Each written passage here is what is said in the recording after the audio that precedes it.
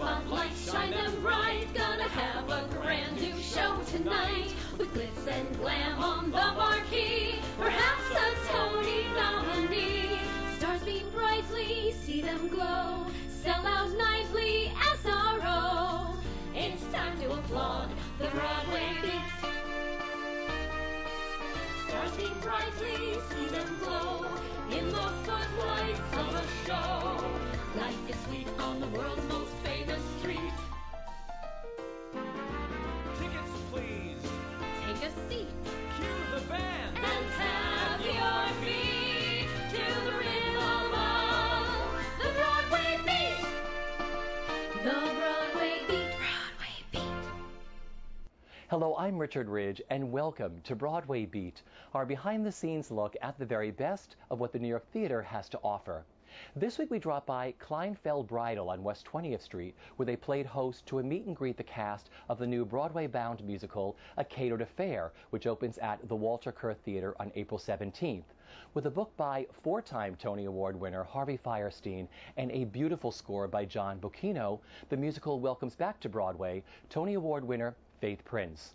We were treated to a musical number from the show, sung by the bride and groom to be, Leslie Kritzer and Matt Cavanaugh.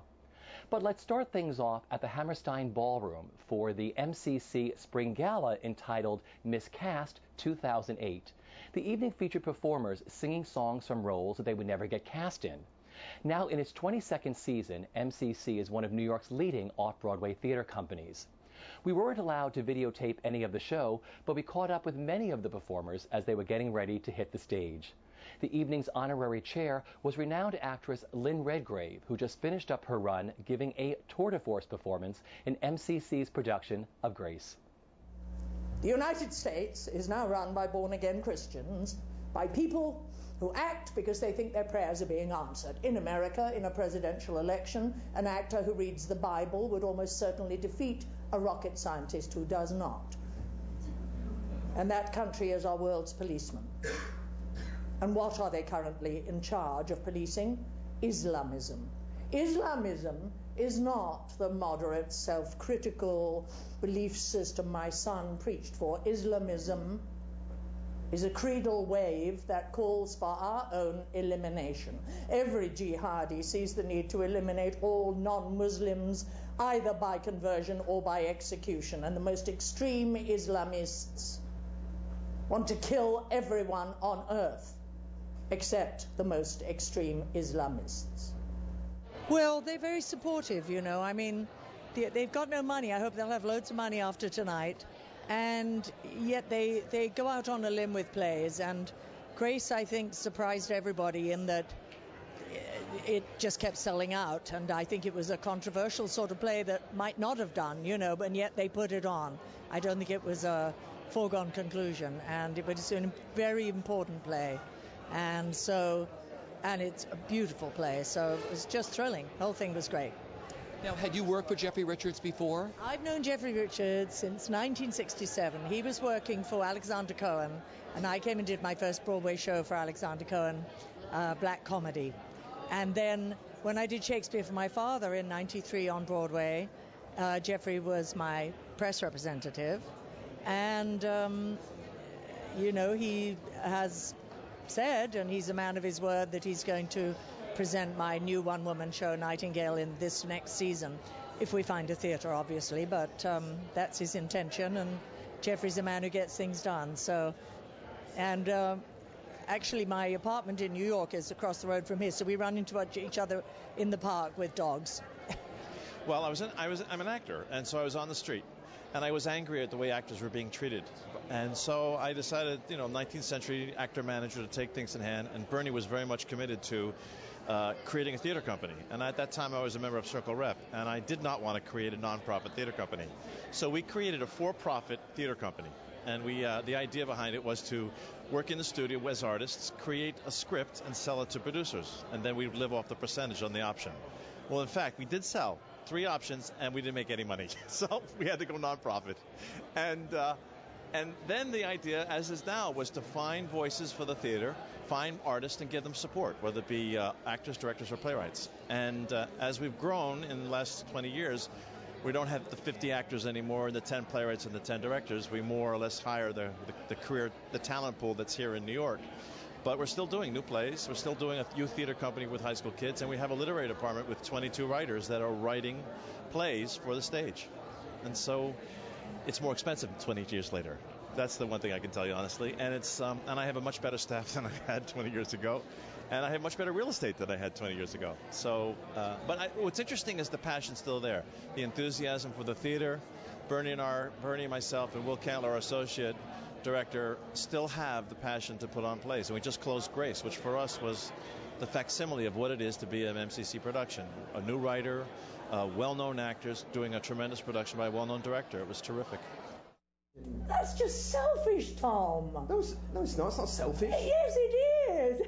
That's the excuse that allows you to hold on to this absurd leap of faith you make. No, what I'm trying to do is to help people feel that it's fine to be thinking, moderate, self critical, and religious. And they're not the most dangerous people in the world, Mum. They're not the ones to lose sleep over. If I provide cover, I provide cover for that lot. I don't provide cover for sexist, homophobic, bigoted people who put bombs on planes. I did that when I was a lawyer. Yeah. But, but life, life is complicated. And even the most ardent atheist. I am not an okay, atheist. Okay, okay, you know what I mean. Even the most ardent naturalist yeah. has to admit that life is not straightforward. I am an enlightenment person and I'm religious. Uh, well, that's a contradiction in terms. Exactly, and that's what I am. I live with that. Uh, uh, uh so Miscast started seven years ago when my dear friend Scott Whitman, who's one of the co-writers of the Hairspray musical, I said we need to do a benefit. We need to sort of up the ante at MCC, and uh, he said, you know, everyone does benefits and everybody performs songs, but you know, let's do something different. And he came up with the idea and the conception of Miscast, which was originally to give performers a chance to sing songs that they would never ever get to sing. You know, it's not what they do in their repertoire or their auditions and then we just ran with it. I mean, you know, we all know performers. I cast a lot of the Broadway shows, and we just started asking people, and it was amazing to find out how the actors just sort of ran with this idea because it was like, you know, like Kristin Chenoweth said, "Oh my God, I've always wanted to sing Effie's song. I tell her I'm not going." You know, I mean, I never get to do that, and to do it in front of public. You know, or Jane Krakowski last year sang Shadowlands from, you know, Lion King, and she was, you know, doing this sort of African tribal dance and it was hysterical. Or Lin-Manuel, uh, you know, said, "Oh, I want to do Amy's song from Stephen Sondheim. I'm never going to get cast in that," you know, and it's just been on and on. It goes on, you know. I mean, the list. It, it's amazing how much the actors. And what's nice, we've been doing this for seven years, and now actors are wanting to come back. You know, they do it, and then two years later, they're like, "Can I be in it? Can I be in it?" So it's just wonderful. Uh, fun, fun, fun. I'm here to have fun. Uh, Bernie Telsey asked me to do this. He said I would be singing with some great guys, Steven Pasquale and Brian Darcy James, and singing things that I would never sing in my life and being ridiculous. And that's I, I needed a little break from things. I wanted to just come out and be wild. Now, this is the first time you've done the miscast benefit for MCC. That's right. Yeah. Um, last year, a bunch of friends did it, but I think I was doing something else, and um, I got excited when I when he asked me to do it this year. This is for afterwards anyway. So what are you doing tonight? Tonight. tonight I am dressing in the full Christmas Santa gear and doing Today for You from Rent, Angel's Song from Rent, which obviously I'd never be cast in. And um, with Steven Pasquale and Brian Darcy James, I am singing Totally Fucked from Spring Awakening. it's great because it lets you get a chance to step out of your normal zone and do something totally crazy. Right, and I especially feel with my conservative dress and my short little mom haircut that t- singing Totally Fucked is going to be great. Let's talk about MCC. I mean, this is the, the big gala that raises all of this money for this great theater company. What do you know about MCC? Well, I know that they're a, a, it's a wonderful company that does a lot of new works. Uh, they they just finished Grace, which was a great play with Lynn Redgrave, and um, I, they're having great success actually getting new voices out there, and I think that's very very important. And um, it's just going to go up from here. I think I think there needs to be more of that going on. So it gives me great pleasure to present to you MCC Theater's miscast, class of 2008.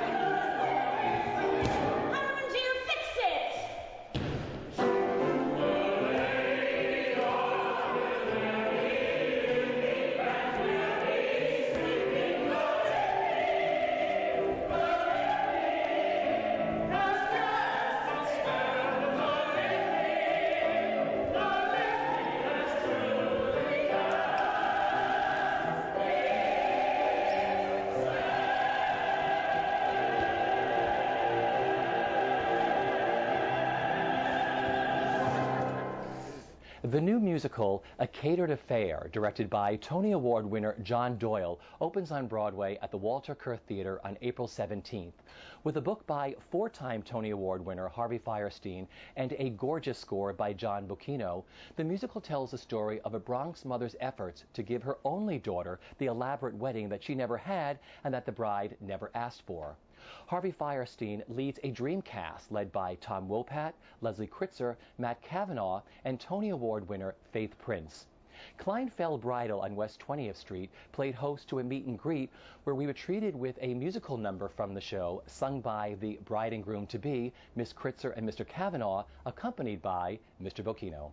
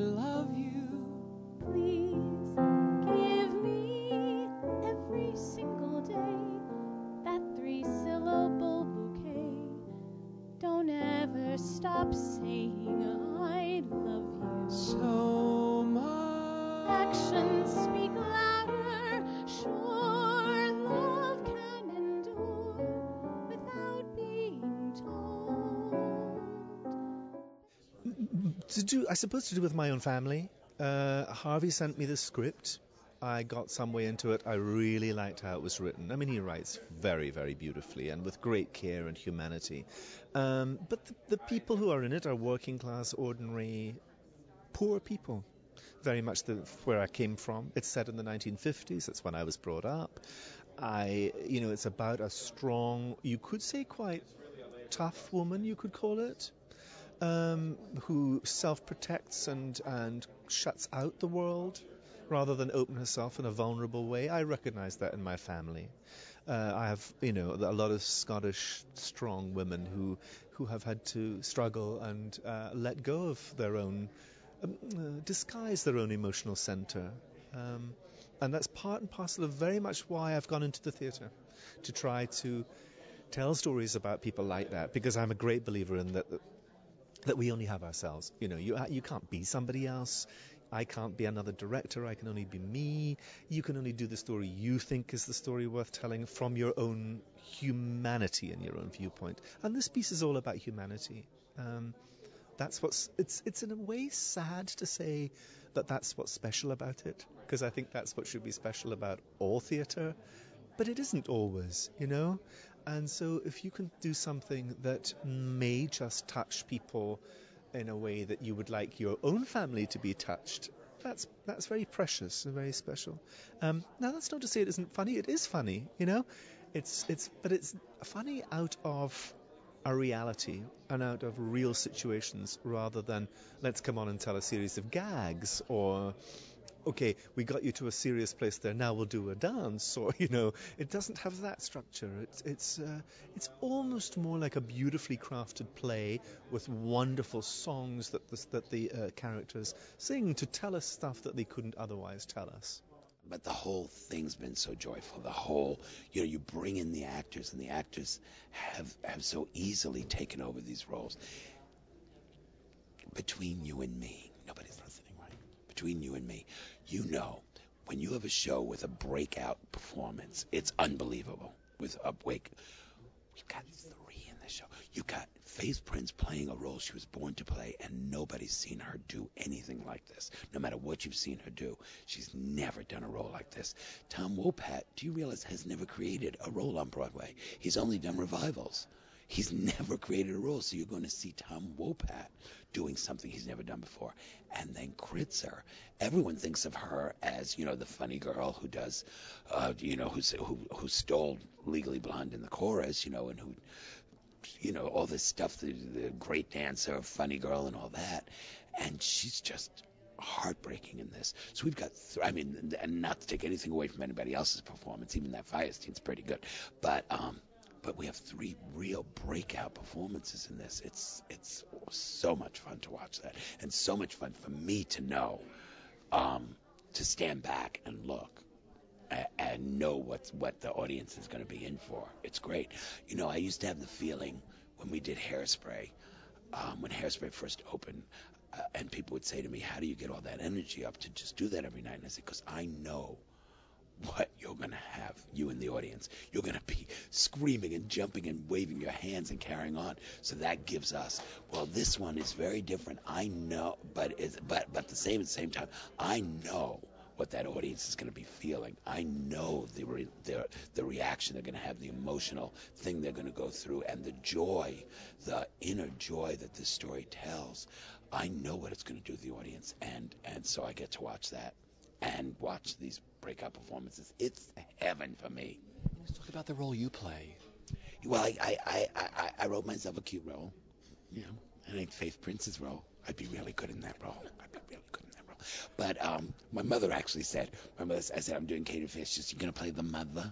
I said, no, I'm not gonna play the mother. I'm gonna play the uncle. Oh, isn't the mother the lead role? Yeah, I'm playing the uncle. Even my mother wanted me to play. No, um, yeah, I wrote myself. I, I mean, Barry Fitzgerald is unbelievable. I mean, he's unbelievable. So I didn't even try. I didn't. I just took that and tossed that out and wrote a different character because nobody's going to touch Barry Fitzgerald in anything he does. That man could fart, and I would sit and watch it on DVD for the rest of my life. He's just such genius. Um, so I wrote Uh, in the original Chayefsky piece, in the in the in the Gore Vidal adaptation, he had a girlfriend and all that. But in the original Chayefsky, he was just a what we call a bachelor uncle, confirmed bachelor uncle. We all know what that is now. And and I saw an opportunity to, to tell a story that's never been told before, of what it's what it must have been like for gays back then to sort of be invisible. And nobody, you know, people knew, everybody knows, but nobody would ever. You wouldn't talk about it. He doesn't even see there's a possibility to be in a relationship. And yet it's right there in front of him. So, so something, I saw some wonderful stuff to play with. And, and, um, and it actually is the device that tells the story. He's the show opens with him. I mean, the audience doesn't know this, but the show opens with him in a suitcase in his hand, and he's moving in with his boyfriend. And then the whole thing is a flashback in his mind, and the show ends with him moving in with the boyfriend, and um, you know, taking this momentous step. We're doing a Sage benefit, in fact, um, where we're invi- where we're going to have a panel of guys that have lived through this period are going to sit on stage and have a talk back and talk about what it was like to be gay in 1953, which will be a lot of fun for me. Well, initially I was too scared, and Harvey says, you know, he tends to, he, he says, and I, I uh, wish he wouldn't, that, you know, when he asked me to do it, I said, I don't like theater. It was really more, I'm afraid of theater, and I said no initially, or was really tentative about it because I'm I have no ex, you know experience in this world, and to be diving into it at such a high level, at such a high profile, with such high profile people, terrified me. And I kind of had to be talked into it, you know, more from from a, from a point of self-doubt, like not knowing if I could really pull it off. But when you're sort of the new kid, to be surrounded by such amazingly talented and experienced people is the greatest gift you know you could ever ask for. So I feel um, very lucky. Well, let's talk about the collaboration. I mean, collaborations are so delicate. Yeah. This worked so beautifully. It wasn't that. Yes, with Harvey, um, he wrote the he wrote the he adapted the the book, and then uh, said, read it. You know, I'll look it over. Think of where you would like to, uh, where you think songs should go, and I'll make a list of where I think songs should go. We'll get together and have dinner and compare our lists, and they were virtually identical, which was a really good sign, you know, to start a, a collaboration with somebody. We were really on the same wavelength, and then for the next number of months, it was really just about taking each of those moments in the arc, you know, dramatic arc that he created, taking each of those moments in that were in his prose, and morphing them into songs that that achieve the same motion, uh, told the same story, and hopefully illuminated the emotions uh, and inner life of the characters a little bit more. That's all it was.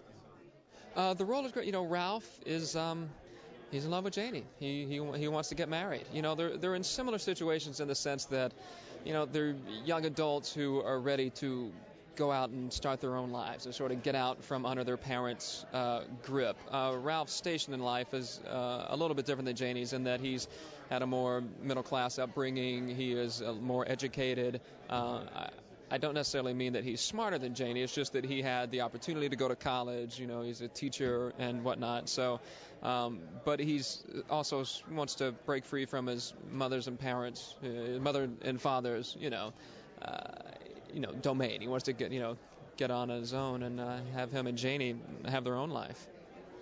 I mean, it's so honest. You know, you know when you're when you're planning to get married and spending your rest of your life, hopefully spending the rest of your life with someone you know, you don't, you want to know that it's going to work out.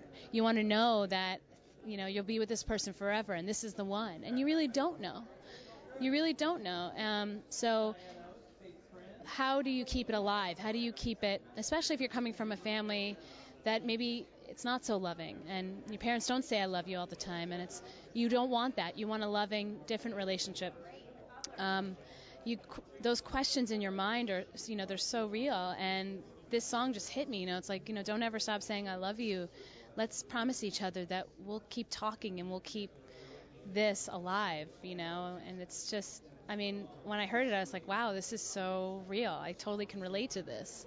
And i think a lot of people can too. I mean if it, even if you're not engaged or getting to marry you know just being in love with someone and the risk you take you know you know of your heart being broken or it not working out you know well, for me, doing a show like this is always kind of a, it's overcoming some things because my basic instinct is to do a show where I do all the work. and uh, I mean, I like being kind of you know the alpha male in a piece, and I am in this. But he doesn't really have much to say. He doesn't have much to sing. But then once he does, I mean, it's kind of you can't ignore it. That's for sure. He's got something definite to say, and it, and it comes at a critical juncture of the piece. Um, what I'd like to say is that I, I like to drive the train, you know, like when I'm doing um, City of Angels or 42nd Street, you know, I'm, I'm driving the train. I'm the guy who kind of makes everything run. In this case, I'm the guy who stops the train. Yeah, the whole thing just comes to a screeching halt when uh, I finally say my piece. And it's um, I think it's a very valid piece. It's got a lot to say, and I think it does it in a very unique way. Well, she's interesting. I think at first glance, you think slightly cold. You think uh, sort of cut off from her emotions. You can see that she's been a selfless kind of person, done for people. I mean, cooks, cleans, basically takes care of her family. And then then you start to understand why she's cold, why she's cut off. And we start on that journey. And as in life, things are never one or two, it's usually three or four things that sort of come together to make high drama. And it sort of reveals itself what this woman has sort of been sitting on top of for many years. And I would say the mostly that she doesn't feel she's been loved. And even though she's been living with the same man for 30, 40 years, you know. Um,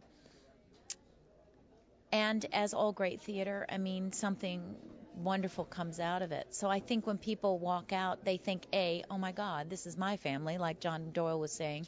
Uh, it's universal. You can relate to it. It's your aunt. It's your, it could be your uncle. It could be uh, your grandmother. In my case, I'm playing both my grandmothers. And um, and I I wear my one grandmother's wedding ring and I wear the other one's earrings on stage because those are my women. I mean, I, that's that's how I'm able to see this character, where the love that I got from those women and the things that I innately felt as a child that they had gone through, you know. Um, and I think there's a lot of hope. People walk out. I mean, you're definitely you're never you're not going to be the same once you've seen this show, which I think that's what great theater should do. I teary-eyed just listening to you talk about it, and the same thing happens when I heard John talk about it and Harvey. It's like it just cracks your heart immediately. Yeah. It does. It's honest. Without and seeing it. I know. I believe me, and that's why I can't wait for you to see it. You got to come. How challenging is she to play? It, the emotions you go through in this. Talk about that. It's well, um, when we started, I was like, oh my God, I'm going to do this eight times a week. But you know, the more you get into it, the actually easier it is to just kind of go there. And I feel like you know everybody's got their special gift in life. God has blessed me with this one, and so it's just what I need to do. And talk about the great score. Oh, his well, his material. I mean, you heard today. It just. Uh, I, I was at Barbara Cook's opening the other night, and she did a number of his. It stops the room. It's uh, it's. There's such incredible depth in that man.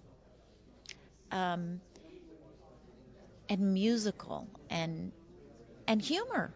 I mean, it, all the pieces are are different um, and have a different flavor, but uh, it's a beautiful score. Haunting is the word I would sort of come up with. Never stop saying